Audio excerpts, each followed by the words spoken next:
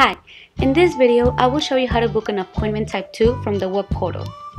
First, we're gonna go to the search bar menu and locate appointments.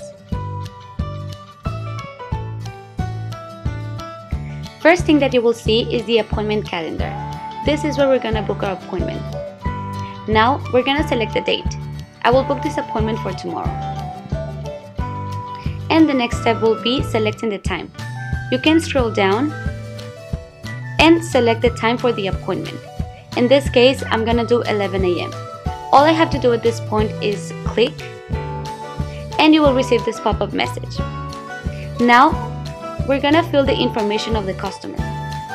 If you have already existing customers, all you have to do is click on this icon and you can select it from your database.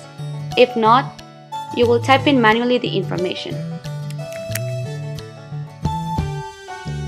After that, we will select the service. In this case, I will select manicure.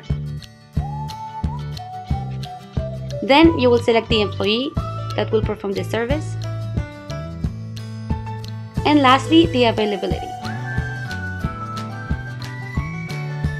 If the customer has any special request, you can write it here. If you're ready to go, we're just gonna click on create and click on yes. This is how the appointment will look like. At this point, we will send an email confirmation to the customer and a text confirmation as well.